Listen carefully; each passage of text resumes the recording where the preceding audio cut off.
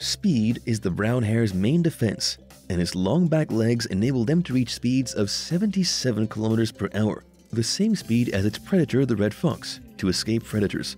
In contrast to rabbits, who hold their tail up when running, hares tuck their tail down so that the white markings are hidden. Did you know that boxing hares are females fending off the attentions of potential male mates by standing upright and striking out with their front paws? This is what gave rise to the expression mad as a March hare. Yet it happens over the course of several months throughout the breeding season.